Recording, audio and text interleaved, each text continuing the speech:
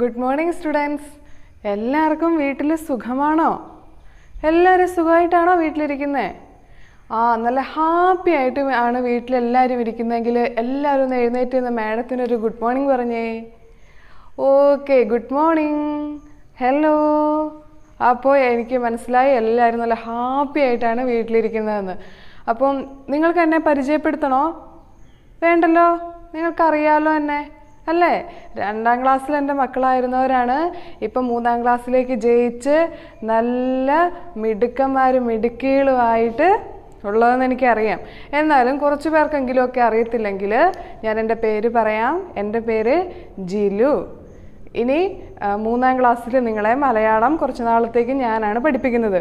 അപ്പോൾ ആ, ചില വിഷയങ്ങളൊക്കെ ഓൾറെഡി നിങ്ങൾ ഓൺലൈൻ ക്ലാസ്സിലൂടെ പഠിച്ചു തുടങ്ങി. പാർട്ട് വൺ ടു ഒക്കെ കഴിഞ്ഞു അല്ലേ? അപ്പം നമ്മൾ മലയാളം ഇതുവരെ പഠിച്ചു തുടങ്ങിയിട്ടില്ല. നിങ്ങൾക്ക് മലയാളം പുസ്തകം കിട്ടിയെന്ന് മാഡം വിശ്വസിക്കുകയാണ്. അപ്പോൾ നമുക്ക് നേരെ നമ്മുടെ ക്ലാസ്സിലേക്ക് നമുക്ക് കടക്കാം. കാരണം നമുക്ക് കുറച്ച് പഠിക്കാനുണ്ട്. ഇപ്പം ഒന്നാം ക്ലാസ്സിനെ അപേക്ഷിച്ച് രണ്ടിലെത്തിയപ്പം കുറേ അധികം കാര്യങ്ങൾ നിങ്ങൾ പഠിച്ചായിരുന്നു അല്ലേ? ഒന്നിൽ നമ്മൾ കുറച്ച് അക്ഷരങ്ങളും അക്ഷരങ്ങൾ ഉപയോഗിച്ചുള്ള ചില പദങ്ങളും ഒക്കെയാണ് നമ്മൾ പഠിച്ചത്. എങ്കിൽ രണ്ടാം ക്ലാസ്സിലേക്ക് വന്നപ്പോഴോ നമ്മൾ അർത്ഥം ചില വേഡുകളുടെ അർത്ഥങ്ങൾ പഠിച്ചു പര്യായപദം പഠിച്ചു പിരിച്ചെഴുതണം എന്നുള്ളത് പഠിച്ചു ചോദ്യോത്തരങ്ങൾ പഠിച്ചു അങ്ങനെ ഒരുപാട് കാര്യങ്ങൾ നിങ്ങൾ രണ്ടാം ക്ലാസ്സിൽ പഠിച്ചു. അതിന്റെയൊക്കെ ഒരു ബാക്കി തന്നെയാണ് മൂന്നാം ക്ലാസ്സിലും. അതുകൊണ്ട് നിങ്ങൾക്കതൊരു വലിയ ബുദ്ധിമുട്ടൊന്നും ആയിരിക്കില്ല. ഒന്നിൽ നിന്ന് രണ്ടിലേക്ക് വന്നപ്പോൾ കുറച്ചധികം കാര്യങ്ങൾ പഠിക്കാനുള്ള ഉണ്ടായിരുന്നത് കൊണ്ട് നിങ്ങൾക്ക് കുറച്ച് ബുദ്ധിമുട്ടൊക്കെ തോന്നിയായിരുന്നു. പക്ഷേ രണ്ടാം ക്ലാസ്സിൽ നിന്ന് മൂന്നിലേക്ക് എത്തിക്കഴിയുമ്പം രണ്ടാം ക്ലാസ്സിന്റെ ഒരു ബാക്കി തന്നെയാണ് മൂന്നിലും. അതുകൊണ്ട് ഒത്തിരി ബുദ്ധിമുട്ടൊന്നും നിങ്ങൾക്ക് വരില്ല. പോരാത്തതിന് മലയാളം നമുക്ക് പഠിച്ചെടുക്കാൻ നല്ല എളുപ്പമുള്ള വിഷയമാണ് അല്ലേ? എന്തുകൊണ്ടാണ് മലയാളം നമുക്ക് ഒത്തിരി എളുപ്പത്തിൽ പഠിക്കാൻ പറ്റുന്ന എന്തുകൊണ്ടാണ് മറ്റു വിഷയങ്ങളെക്കാളൊക്കെ ഒന്ന് പറഞ്ഞു നോക്കി എന്തുകൊണ്ടാ? ആ നമ്മുടെ മാതൃഭാഷയാണ് മലയാളം അല്ലേ? നമ്മുടെ മാതൃഭാഷയാണ് മലയാളം. നമ്മൾ എപ്പോഴും സംസാരിക്കുന്നത് ഏത് ഭാഷയിലാ? ആ വീട്ടിലൊക്കെ ആയിരിക്കുമ്പം നമ്മൾ സംസാരിക്കുന്നത് മലയാളം എന്ന ഭാഷയിലാണ് അല്ലേ? ഈ മലയാളം ഭാഷയിൽ നമ്മൾ സംസാരിക്കുന്നത് കൊണ്ട് അല്ലെങ്കിൽ നമ്മുടെ മാതൃഭാഷയായതുകൊണ്ട് തന്നെ മലയാളം എന്ന വിഷയവും നമുക്ക് എളുപ്പത്തിൽ മനസ്സിലാക്കാൻ പറ്റും. ഒത്തിരി സ്നേഹത്തോടെ പഠിക്കാനും പറ്റും. അതുകൊണ്ട് മലയാളം നമുക്ക് നല്ല എളുപ്പമുള്ളൊരു വിഷയമാണ് അല്ലേ? നിങ്ങൾക്ക് പഠിക്കാൻ ഒരുപാട് ഇഷ്ടമുള്ളൊരു വിഷയമാണ് മലയാളം എന്ന് മാഡത്തിന് അറിയാം അപ്പോൾ നിങ്ങൾക്ക് നിങ്ങളുടെ കയ്യിൽ ടെക്സ്റ്റ് കിട്ടിയിട്ടുണ്ടെങ്കിൽ ഒന്ന് നോക്കാവോ? ഇതാണ് നമ്മുടെ മലയാളം പുസ്തകം ടെക്സ്റ്റ് ഓക്കെ നിങ്ങൾക്കൊരു നോട്ട്ബുക്കും കൂടി വേണം. രണ്ടുവര കോപ്പി ബുക്കാണ്. രണ്ടാം ക്ലാസ്സിലൊക്കെ നിങ്ങൾ ഉപയോഗിച്ച പോലെ തന്നെ രണ്ടുവര കോപ്പി ബുക്കാണ് നിങ്ങൾക്ക് മലയാളത്തിന്റെ നോട്ട്ബുക്കായിട്ട് വേണ്ടത്. അപ്പോൾ ഓക്കെ ടെക്സ്റ്റ് ഉണ്ട് നിങ്ങൾക്ക് ഓൾറെഡി ഒരു നോട്ട്ബുക്കും കൂടി നമുക്ക് വേണം. രണ്ടുവര കോപ്പി ബുക്ക്. ഇനി നമ്മൾ ഈ പുസ്തകത്തിലേക്ക് കടക്കുന്നതിന് മുമ്പ് നിങ്ങൾക്ക് രണ്ടാം ക്ലാസ്സിൽ പഠിച്ചതൊക്കെ നിങ്ങളുടെ ഓർമ്മയിലുണ്ട്. ഞാൻ ആദ്യം പറഞ്ഞ പോലെ അർത്ഥം എഴുതുക എന്നുള്ളത് അർത്ഥം നമ്മൾ പഠിച്ചു പിരിച്ചെഴുതുക എന്നുള്ളത് പഠിച്ചു ചോദ്യോത്തരങ്ങൾ പഠിച്ചു പര്യായ പദങ്ങൾ പഠിച്ചു അങ്ങനെ ഒരുപാട് കാര്യങ്ങളും പഠിച്ചു. മൂന്നാം ക്ലാസ്സിലും അതൊക്കെ തന്നെയാണ് നമുക്ക് പഠിക്കാനുള്ളത്. വേറെ പാഠങ്ങളാണെന്ന് മാത്രം. ഓക്കെ. നമ്മൾ കുറച്ചധികം കുറച്ചും കൂടി അധികം പാഠങ്ങൾ അതായത് കുട്ടി കവിതകളായിട്ടും കഥകളായിട്ടും ചെറിയ ചെറിയ ലേഖനങ്ങളായിട്ടും ഒക്കെ നമ്മൾ പുതിയ പുതിയ പാഠങ്ങൾ വളരെ രസകരമായിട്ടുള്ള എന്നാൽ കുറേ ആശയങ്ങൾ ഉൾക്കൊള്ളുന്ന നല്ല പാഠങ്ങളാണ് നമുക്ക് പഠിക്കാനുള്ളത്. അങ്ങനെ നമുക്ക് നേരെ നമ്മുടെ പാഠഭാഗത്തിലേക്ക് കടക്കാം. നമ്മുടെ ഒന്നാം പാഠം ഇവിടെയുണ്ട്. പാഠം ഒന്ന് ആരു നീ കരുണാമയി? ആരു നീ കരുണാമയി? പാഠം ഒന്നിന്റെ പേരെന്താ? ആരു നീ കരുണാമയി? ബോർഡിൽ ഒന്ന് എഴുതണം. പാഠം ഒന്ന് പറഞ്ഞ പാഠം ഒന്ന് എന്താണ്? പാഠത്തിന്റെ പേര് ആരു നീ കരുണാമയി. ഓക്കെ.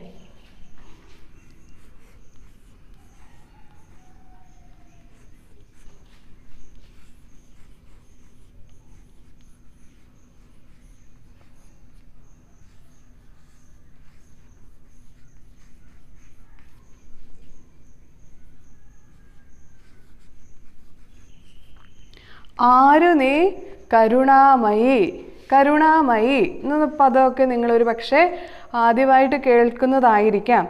എങ്കിൽ ആരും നീ? ഇപ്പം മാഡത്തിനോട് ചോദിക്കുകയാണ് നീ ആരാ? അല്ലെങ്കിൽ ആരാ നീ? എന്ന് വെച്ചാൽ ഞാൻ പറയും ഞാൻ ജിലു ആണ്. അല്ലേ? അതുപോലെ തന്നെ ഇപ്പം ഫൈഗയോട് ചോദിക്കുകയാണ് ഫൈഗ ആരാ നീ? ഫൈ ആരാ നീ? എന്ന് ചോദിച്ചാൽ ഫൈഗ എന്ത് പറയും? എന്ത് പറയും ഫൈഗ? ആ ഓക്കെ ഞാൻ ഫൈഗയാണെന്ന് പറയും. അല്ലെങ്കിൽ ദിയയോട് ചോദിക്കുകയാണ് ആരാ നീ? എന്ന് വെച്ചാൽ ദിയ പറയും ഞാൻ ദിയാണ് റിസയോട് ചോദിച്ചാൽ റിസ എന്ത് പറയും? ഞാൻ റിസയാണ് അല്ലേ? അതുപോലെ റാദിനോട് ചോദിച്ചാൽ റാദിൻ എന്ത് പറയും? ഞാൻ റാദിനാണെന്ന് പറയും. അപ്പം ആരു നീ? ആരാണ് നീ? അല്ലേ? ആരാണ് നീ? അപ്പം കരുണാമയി കരുണാമയി എന്ന് പറഞ്ഞിട്ടുണ്ടെങ്കിൽ കരുണയോ ഉള്ള അല്ലെങ്കിൽ കരുണ നിറഞ്ഞു നിൽക്കുന്ന ദയയുള്ള. അപ്പം അതാരാണ്? നിറയെ സ്നേഹവും നന്മയും കരുണയും ദയയും ഒക്കെ നിറഞ്ഞു നിൽക്കുന്നവൻ ആര് മാത്രാണ്? ആര് മാത്രമാണ് ആ ഈശ്വരൻ അല്ലെങ്കിൽ അള്ളാ ഈശ്വരൻ മാത്രമാണ് അല്ലേ? ആരു നീ കരുണാമയി? അല്ലെങ്കിൽ ഈശ്വര നീ ആരാണ്? ഇതാണ് നമ്മുടെ പാഠത്തിന്റെ ആ പാഠത്തിന്റെ പ്രധാനപ്പെട്ടിട്ടുള്ള ഒരു ചോദ്യമാണ് ആരാ നീ? കരുണാമയി ദൈവമേ ഈശ്വര നീ? ആരാണ്? അല്ലേ? നമുക്ക് ഈ പ്രപഞ്ചത്തിൽ നമുക്ക് നൽകിയിരിക്കുന്ന നിരവധി അത്ഭുതങ്ങളെ തന്നെ അല്ലെങ്കിൽ നമുക്ക് വേണ്ടി നമുക്ക് ജീവൻ നൽകി നമ്മളെ വളർത്തുന്ന അല്ലെങ്കിൽ നമുക്ക് വേണ്ടതെല്ലാം നൽകുന്ന നൽകുന്നവൻ ആരാണ്? അള്ളാ ഈശ്വരൻ അല്ലേ? അപ്പോൾ ആ ദൈവത്തോട് നമ്മൾ ചോദിക്കുകയാണ് ഇത്രയൊക്കെ അനുഗ്രഹങ്ങളും കരുണകളും ഒക്കെ നമ്മിലേക്ക് വർഷിക്കുന്ന ദൈവമേ ഈശ്വര നീ ആരാണ് എന്നാണ് നമ്മൾ ചോദിക്കുന്നത്. ഓക്കെ അപ്പം ഈ കവിത നിങ്ങൾക്ക് വേണ്ടി എഴുതിയിരിക്കുന്നത് അമ്പലപ്പുഴ ഗോപകുമാറാണ്. ആരാണ് എഴുതിയിരിക്കുന്നത്? അമ്പലപ്പുഴ ഗോപകുമാർ. അപ്പം നിങ്ങൾ ഓർത്തിരിക്കണം ആരുണി കരുണാമയി എന്ന കവിത എഴുതിയിരിക്കുന്നത് പ്രശസ്ത എഴുത്തുകാരനായിട്ടുള്ള അമ്പലപ്പുഴ ഗോപകുമാർ.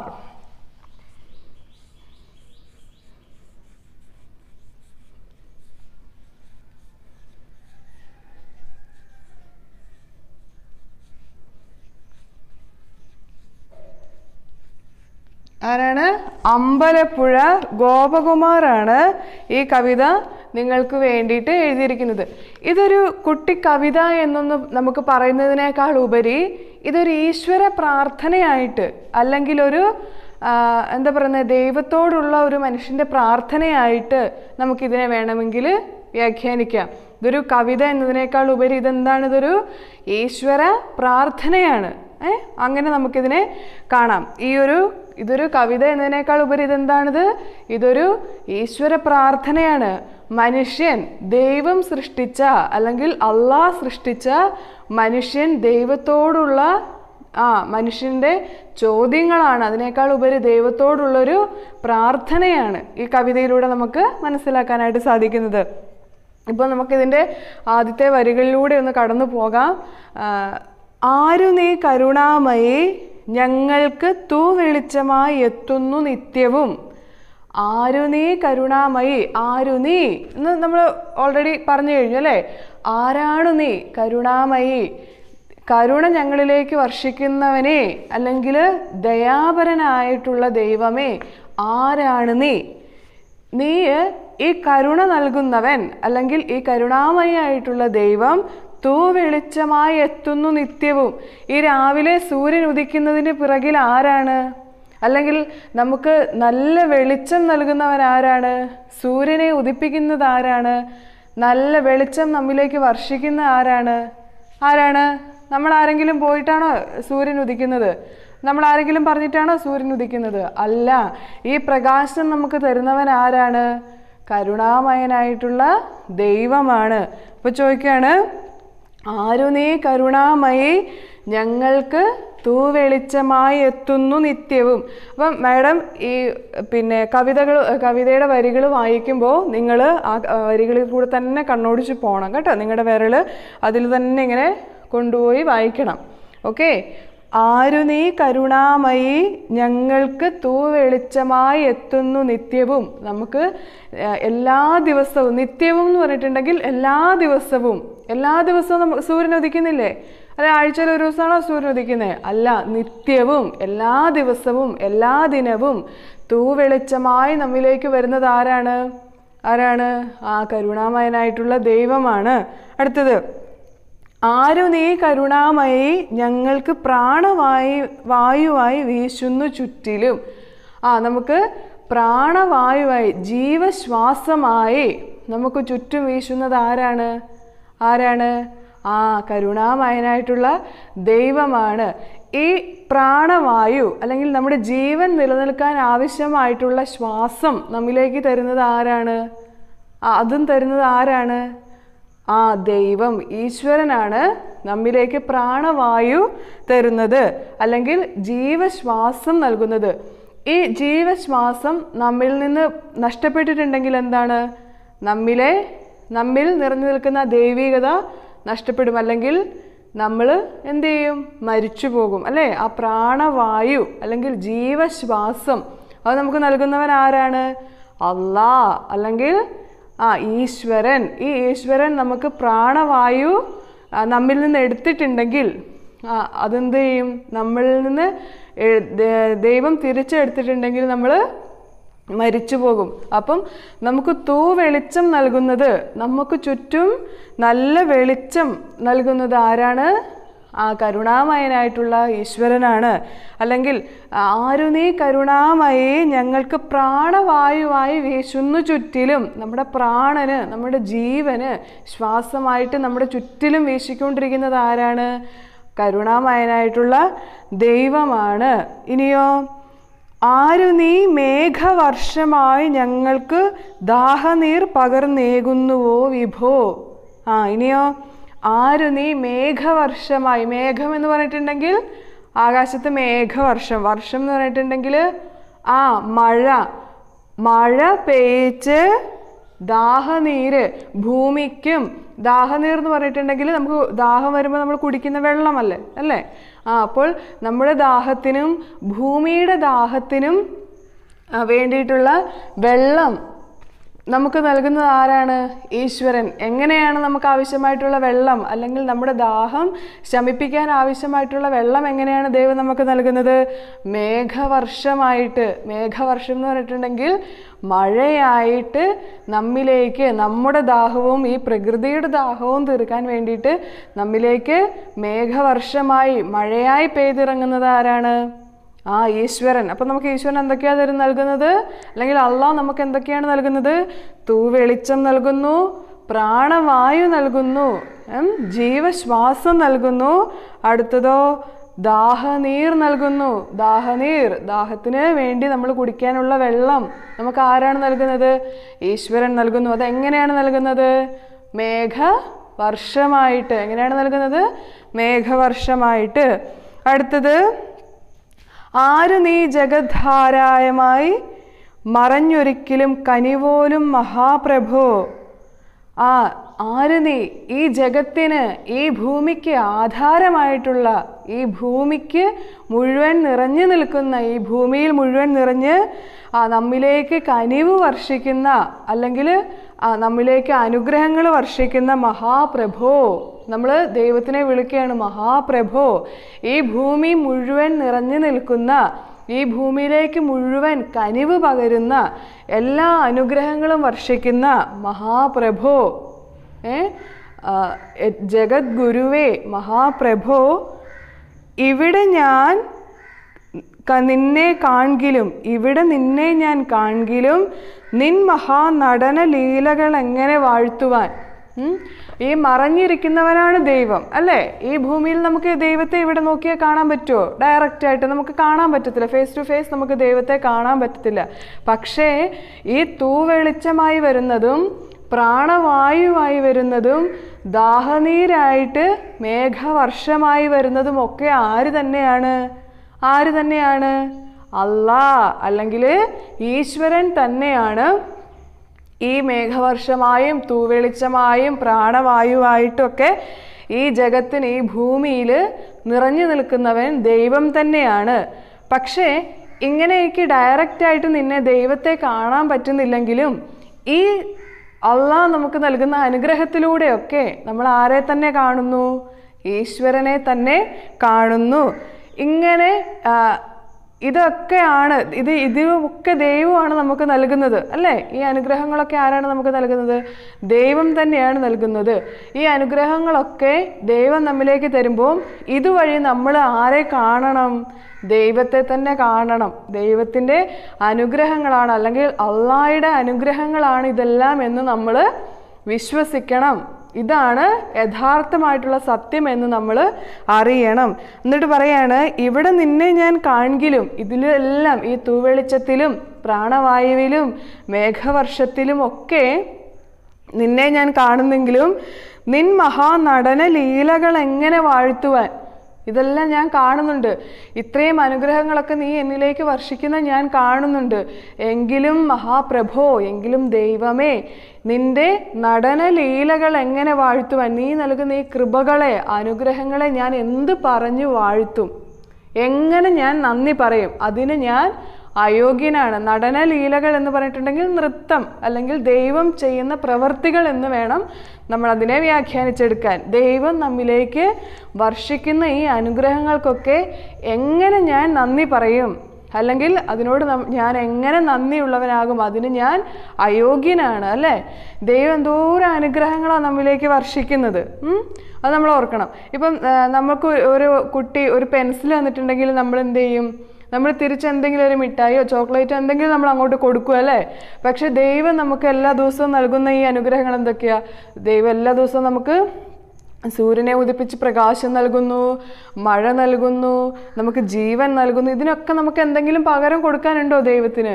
ആ അതിന് നമ്മൾ അശക്തനാണ് എന്നാണ് ഇവിടെ നമ്മൾ പറയുന്നത്. ഇപ്പം ഇതൊരു കവിത എന്നതിനേക്കാൾ ഉപരി ഇതെന്ത് എന്തെന്നാ മാഡം പറഞ്ഞ? ഇതൊരു ഈശ്വര പ്രാർത്ഥനയായിട്ട് നമുക്കിതിനെ കാണണം. അപ്പോൾ ഒന്നും കൂടി ഒന്ന് വായിച്ചു നോക്കാം. ആരു നീ കരുണാമയി? ടെക്സ്റ്റ് എടുക്കുക എല്ലാവരും അതിന്റെ ഓരോ വരികളിലൂടെ കടന്നു പോകണം ആരു നീ കരുണാമയി ഞങ്ങൾക്ക് തൂവെളിച്ചമായി എത്തുന്നു നിത്യവും. ആരു നീ കരുണാമയി ഞങ്ങൾക്ക് തൂവെളിച്ചമായി എത്തുന്നു നിത്യവും. അടുത്ത വരി ആരു നീ കരുണാമയി ഞങ്ങൾക്ക് പ്രാണവായുവായി വീശുന്നു ചുറ്റിലും. ഓക്കെ ആരു നീ കരുണാമയി ഞങ്ങൾക്ക് പ്രാണവായുവായി വീശുന്നു ചുറ്റിലും. അടുത്തത് ആരു നീ മേഘവർഷമായി ഞങ്ങൾക്കു ദാഹനീർ പകർന്നേകുന്നുവോ വിഭോ? ആരു നീ മേഘവർഷമായി ഞങ്ങൾക്ക് ദാഹനീർ പകർന്നേകുന്നുവോ വിഭോ?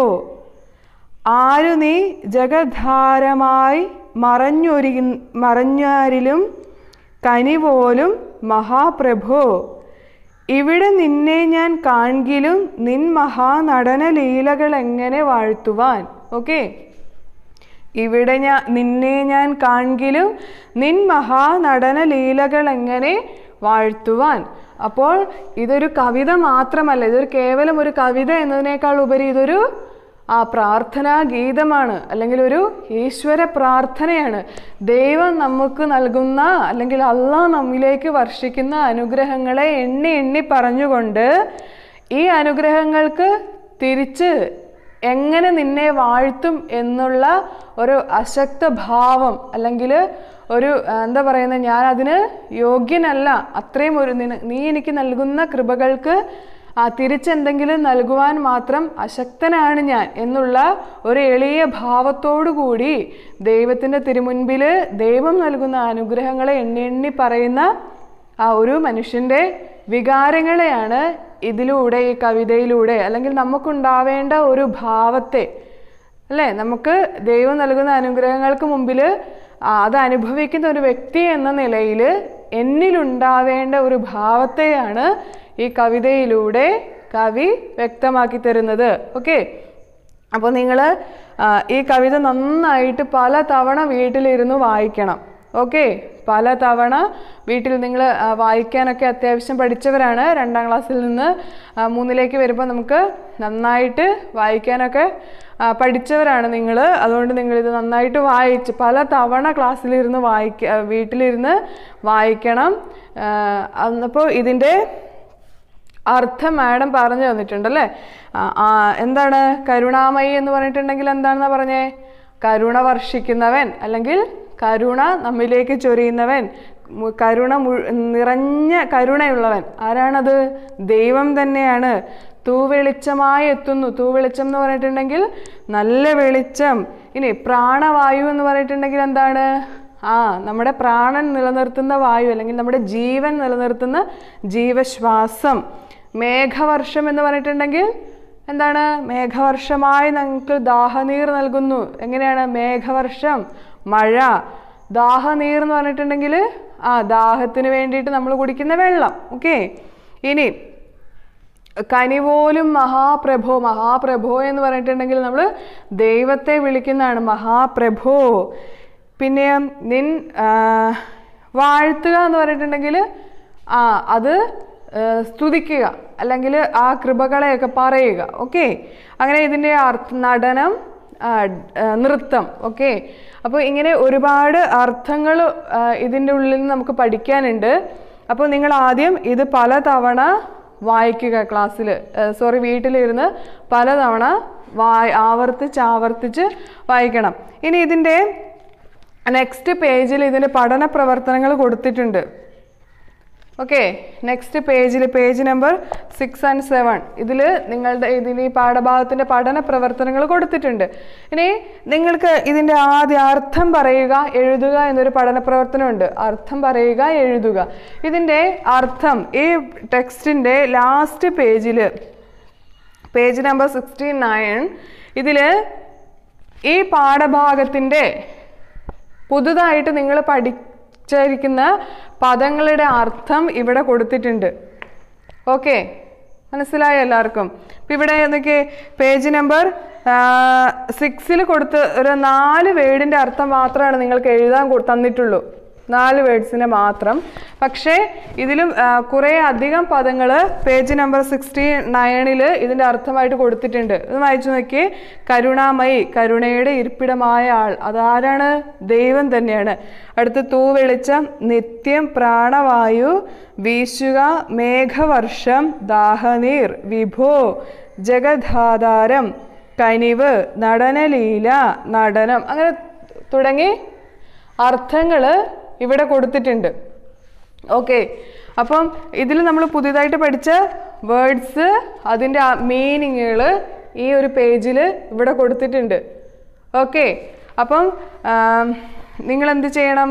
ഈ പാഠം ആദ്യം നന്നായിട്ട് വായിക്കണം. എന്നിട്ടോ ഇതിന്റെ അർത്ഥം കൂടി പഠിക്കണം. ഓക്കെ ഇതിന്റെ അർത്ഥം കൂടി പഠിക്കണം. അപ്പോൾ കരുണാമയി എന്ന് പറഞ്ഞാൽ എന്താണെന്ന് പറഞ്ഞേ? കരുണാമയി എന്ന് പറഞ്ഞിട്ടുണ്ടെങ്കിൽ കരുണയുടെ ഇരിപ്പിടമായിട്ടുള്ള ആൾ അത് ആര് തന്നെയാണ്? ദൈവം തന്നെയാണ്. ഓക്കെ അപ്പോൾ നമ്മൾ പുതുതായിട്ട് കുറച്ചധികം വേർഡ്സുകൾ പഠിച്ചിട്ടുണ്ട്. ഈ പാഠഭാഗം നന്നായിട്ട് പലതവണ ആവർത്തിച്ച് വായിക്കണം. ഇതിന്റെ വേർഡ്സിന്റെ മീനിങ്ങും കൂടി നിങ്ങൾ പഠിച്ചിരിക്കണം. ഓക്കെ ഇനി നിങ്ങൾ മാഡം ആദ്യം പറഞ്ഞായിരുന്നു നമുക്ക് നോട്ട്ബുക്ക് ഏതാണ് വേണ്ടത്?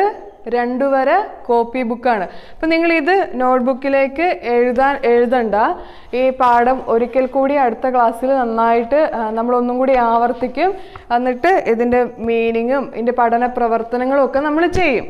ഓക്കെ അപ്പോൾ നിങ്ങൾ ഇത് ആദ്യത്തെ ക്ലാസ് ആയതുകൊണ്ട് തന്നെ മാഡം നിങ്ങളുടെ പാഠഭാഗം ജസ്റ്റ് ഒന്ന് വിശദീകരിച്ചു എന്ന് മാത്രമേ ഉള്ളൂ.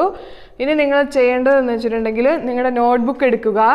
നിങ്ങളുടെ നോട്ട്ബുക്ക് എടുത്തിട്ട് നിങ്ങൾ അതിന്റെ ആദ്യ പേജിൽ നിങ്ങളുടെ പേര് ക്ലാസ് ഒക്കെ എഴുതുന്ന ഒരു പേജ് ഉണ്ടല്ലോ നിങ്ങളുടെ പേര് ക്ലാസ് ഒക്കെ എഴുതുന്ന ഒരു പേജ് ഉണ്ട് ആ പേജ് കഴിഞ്ഞതിന് ശേഷമുള്ള നെക്സ്റ്റ് പേജിന്റെ ഈ ഭാഗത്ത് നിങ്ങൾ എന്ത് എഴുതണം? ആദ്യം സ്വര അക്ഷരങ്ങൾ എഴുതണം.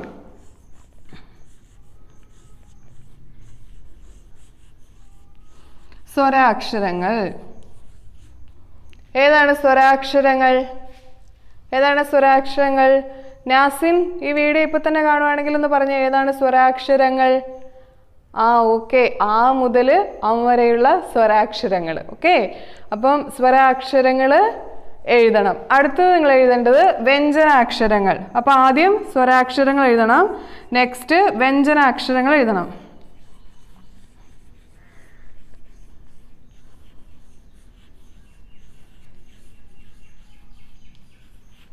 നെക്സ്റ്റ് ഏതാണ് വ്യഞ്ജനാക്ഷരങ്ങൾ എഴുതണം. അപ്പം നമ്മൾ ആദ്യം സ്വരാക്ഷരങ്ങൾ എഴുതി അത് കഴിഞ്ഞിട്ട് വ്യഞ്ജനാക്ഷരങ്ങൾ വീണ്ടും നമ്മൾ പഠിച്ച ഏതായിരുന്നു?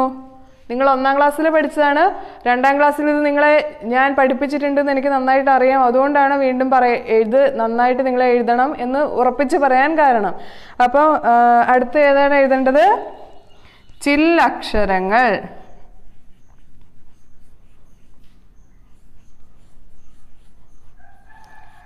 ചില്ലക്ഷരങ്ങൾ. അടുത്ത ഏതാണ് എഴുതേണ്ടത്? ചില്ലക്ഷരങ്ങൾ. ഏതൊക്കെയാണ് ചില്ലക്ഷരങ്ങൾ? ആ ഇൾ എൺ എർ ഇൽ തുടങ്ങിയ എത്ര എണ്ണം ഉണ്ട്? അഞ്ചെണ്ണം. അങ്ങനെ ചില്ലക്ഷരങ്ങൾ എഴുതണം. അടുത്ത ഓരോ അക്ഷര ഒന്നും കൂടി എഴുതാനുണ്ട്. ഏതാണ്? ഒന്നും കൂടി നമ്മൾ രണ്ടാം ക്ലാസ്സിന്റെ അവസാന നാളുകളിൽ പഠിച്ച ഏതാണ്? ഓക്കെ കൂട്ടക്ഷരങ്ങൾ.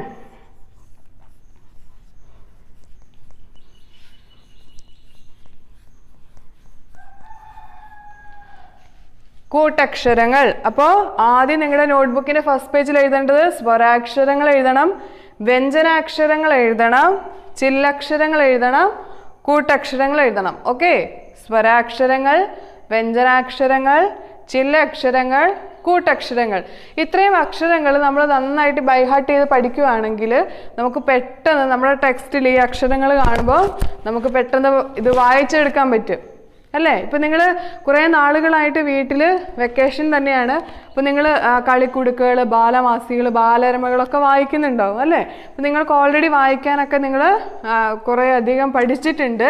അപ്പം നമുക്ക് ഇതുണ്ടോ? ഒന്നാം ക്ലാ ഒന്നിലും രണ്ടിലും ഒക്കെ പഠിച്ചതിനേക്കാൾ കുറച്ച് കട്ടി കൂടിയ വാക്കുകളാണ് രണ്ട് മൂന്നാം ക്ലാസ്സിലൊക്കെ എത്തുമ്പോൾ അല്ലേ? നിങ്ങൾ പ്രാണവായു മേഘവർഷം എന്നൊക്കെയുള്ള ഇച്ചിരി പറയുന്ന ഇച്ചിരി കട്ടി കൂടിയ വാക്കുകളാണ്. നിങ്ങൾ രണ്ടിലൊന്നും അത്ര ടഫായിട്ടുള്ള വേർഡ്സുകളൊന്നും പഠിച്ചിട്ടില്ല. അപ്പോൾ ഈ സ്വരാക്ഷരങ്ങളും വ്യഞ്ജനാക്ഷരങ്ങളും ചില്ലക്ഷരങ്ങളും കൂട്ടക്ഷരങ്ങളും ഒക്കെ നല്ലപോലെ ബൈഹാർട്ട് ചെയ്ത് പഠിക്കുമ്പോഴാണ് നിങ്ങൾക്ക് പെട്ടെന്ന് പാഠഭാഗമൊക്കെ വായിച്ച് ആ, നമുക്ക് അതിന്റെ അർത്ഥം മനസ്സിലാക്കാൻ പറ്റുള്ളൂ. അപ്പോൾ നമുക്ക് ജസ്റ്റ് വായിക്കാനെങ്കിലും പഠിക്കണമെങ്കിൽ ഈ ചില്ല സ്വരാക്ഷരങ്ങളും വ്യഞ്ജനാക്ഷരങ്ങളും ചില്ലക്ഷരങ്ങളും കൂട്ടക്ഷരങ്ങളും മസ്റ്റായിട്ടും പഠിച്ചിരിക്കണം. അപ്പോൾ നിങ്ങൾ ഇന്നത്തെ ഈ ക്ലാസ്സിന്റെ ഹോം അസൈൻമെന്റ് അല്ലെങ്കിൽ ഹോംവർക്ക് എന്ന് പറയുന്നത് ഈ നാല് കാര്യങ്ങൾ നിങ്ങളുടെ നോട്ട്ബുക്കിന്റെ ഫസ്റ്റ് പേജിൽ എഴുതിയിട്ട് മാഡത്തിന് ഫോട്ടോ എടുത്തിട്ട് പേഴ്സണലി സെൻഡ് ചെയ്ത് തരണം. ഓക്കെ അപ്പം ഈ നാല് കാര്യങ്ങൾ മറക്കരുത്. നോട്ട്ബുക്കിൽ എഴുതി പേജിന്റെ ഫോട്ടോ എടുത്തിട്ട് സെൻഡ് ചെയ്ത് തരണം. ഇതാണ് നിങ്ങളുടെ ആ ഇന്നത്തെ ഹോംവർക്ക് കേട്ടോ? നിങ്ങളുടെ ഫസ്റ്റ് പേജിൽ എഴുതണം. അപ്പം ഈ പാഠഭാഗത്തിന്റെ പഠന പ്രവർത്തനങ്ങളുമായിട്ട് അടുത്ത ക്ലാസ്സിൽ നമുക്ക് വീണ്ടും കണ്ടുമുട്ടാം. അതുവരെ എല്ലാവരും എന്ത് ചെയ്യണം? സുരക്ഷിതരായിട്ട് സന്തോഷമായിട്ട് വീട്ടിലിരിക്കണം. എല്ലാ വിഷയങ്ങളും മലയാളം മാത്രം പഠിച്ചാൽ പോലെ ബാക്കി എല്ലാ വിഷയങ്ങളും നിങ്ങൾ പഠിക്കണം. ഓക്കെ? അപ്പോൾ അടുത്ത ക്ലാസ്സിൽ നമുക്ക് ഈ പാഠഭാഗത്തിന്റെ പഠന പ്രവർത്തനങ്ങളായിട്ട് വീണ്ടും കണ്ടുമുട്ടാം. ഓക്കെ? Bye bye. താങ്ക്